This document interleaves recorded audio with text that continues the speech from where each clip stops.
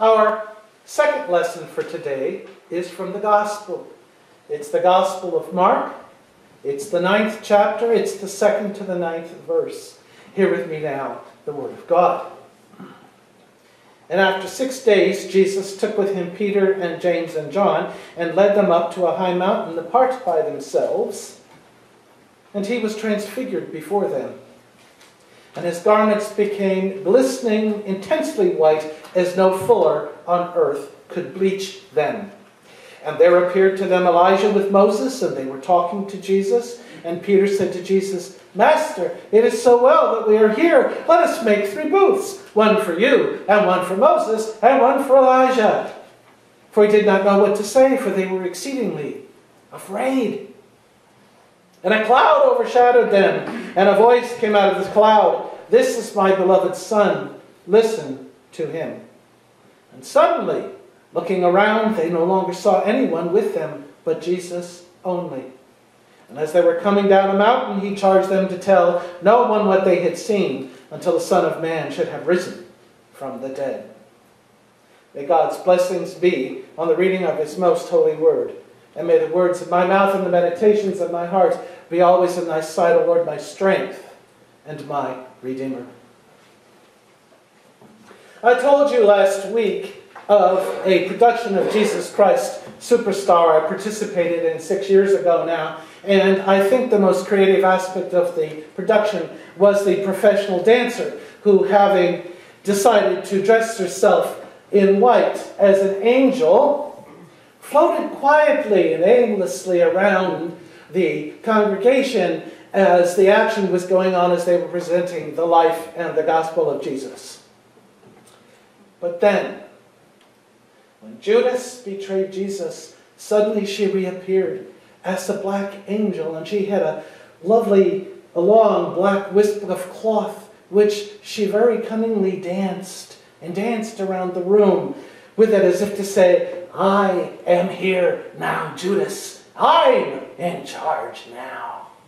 And her dancing intensified, and the dancing intensified until finally the other black angel suddenly appeared, and they bodily picked up Judas and they carried him down the aisle of the sanctuary, all to the while the choir was singing, So long, Judas. And she had that characteristic smile on her face as they sang. It's the same smile that she has on her face whenever any of us in our lives act like Judas or when we settle our faith for less. Less than the transforming, transfiguring love of God. And so I have entitled this sermon today, When We Settle for Less. Oh, Whitney, Whitney, Whitney. If anyone had been to the mountaintop of success, a hundred million dollars worth of fame and fortune. The American idol of her time, at least in my generation, her humble beginnings in a church choir just like this one. She had a dream, however, to go up that mountain which she followed, but which mountain did she climb? That mountain she climbed was a lot of strenuous effort on her part. It was a lot of seriously, serious work, but unfortunately the end came at a very high price. We will all miss her amazing talent. May she rest in peace. That amazing voice that shook the world is silenced. But the fact remains that Whitney, with all the world at her fingertips, she settled for less and I know of which I speak. Those who have ever seen talented and capable loved ones die from drug addictions, they know the loss her family is experiencing this day. They know, I know. But the mountaintops of life are part of the human quest. We all have our mountaintops in life to climb. whether they are real or whether they are imagined. But it's the spiritual mountaintops that are the topic of discussion this morning. And it's how we handle them when we come in contact with them that is the issue. And today, Jesus is on his, and he helps us reflect on ours. A mountaintop that amazes us and it terrifies us at the same time. Now, Peter was understandably awestruck. It was to have been a quiet retreat. It was to be a time apart from the crowds. But an extraordinary event was unfolding, a moment that was so sacred in history. And Peter, uh, as vice president in charge of doing something all the time, he had to do something. So he proposed building a booth or a kiosk or a shrine, whatever you want to call it, to preserve the moment. And we're not told how he was going to do this, whether he had a hammer and a saw at the ready. You know, it's, it's hard to come up with something when all you have is a sewing needle and your fisherman's belt. But then Peter was never one to let details get in the way of his dream. And a cloud appeared at that moment. Before Peter could throw himself into anything, and out of a cloud a voice said, This is my son, this is my beloved, listen to him.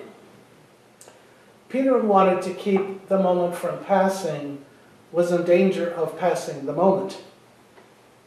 Now, we have to stop and think what was going on there, on that mountain. Number one, it was a tantalizing glimpse into the divinity of Jesus once and for all. The contrast of looking at Jesus as this humble carpenter and a teacher, he became trans spectacularly transformed. All the while surrounded by the two of the greatest prophets, Moses and Elijah. Now, that undeniably linked Jesus to the last 1500 years of their history, and there was no doubt that Jesus was seen at that moment as a blessed divine figure. He's given a Shekinah, which is a great light, the same as Moses received. And anyone witnessing that knew that this was the best of God's glory and the best was yet to come. But contrast this, what we already know about Jesus as a human being. And it goes back to what I said earlier. It's not the mountaintop experiences that cause the problem, it's how we handle them when we come in contact with them. Do we embrace those moments for the mystifying, fantastic spiritual experiences they are? Do we grow from them? Do we learn from them? Or do we, like Peter, Peter do we, like Peter, settle for less? Why do we in our lives always frame everything in winning and losing?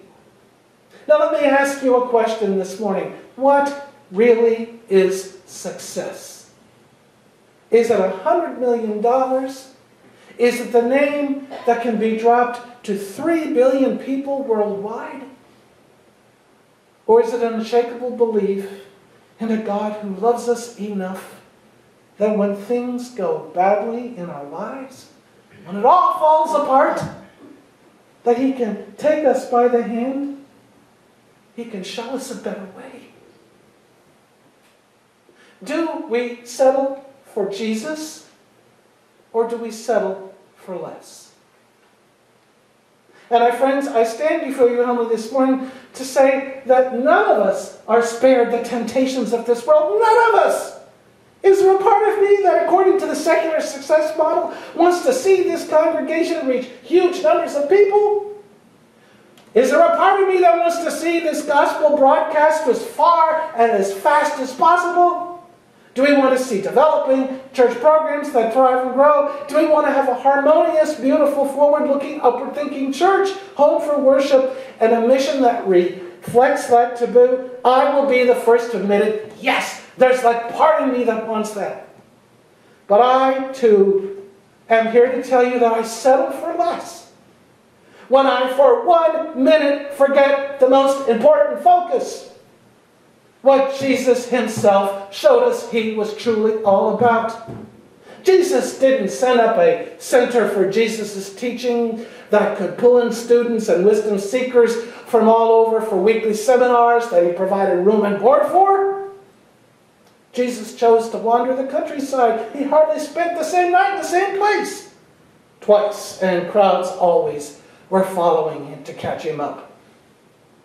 Instead of organizing a hierarchy for training scores and scores of followers, Jesus only chose 12 disciples and he gave them on the road instruction. And instead of playing up his miraculous strength, the wonder and the power of his true identity, Jesus chose to be anonymous most of the part. As a simple, dusty craftsman, as a rabbi, and our Swords leader was constantly telling everybody and his disciples not to tell anyone what they had seen. Now, why? Why did he do that? Because there really is no such thing as failure or success for Jesus. Jesus never worried about struggling up or sliding down a ladder. Jesus was only concerned with lowering himself to the knee and extending his hands for God's service. And we, this morning, are compelled to do the same. If success is a ladder, then service is a chute and a carpet, a chute of free falling grace, and a magic carpet because it can continue to unfurl and unfold without end. Commitment to a life of service means parachuting into the war zones of this world with a welcome mat of God's love and sacrifice to the door of every home and every heart that has need. This is the mission Jesus affords us downwardly mobile, forward reaching service, not upward struggling success that may lead to burnout, addiction, and death. Successes are things that can be calculated. Service is never quantified. In Jesus' parable of the sower, we are called to plant the seed, but none of us can guarantee the harvest. As mere humans, we cannot possibly know the results of our sowing until the eternal harvest, which is brought about by God.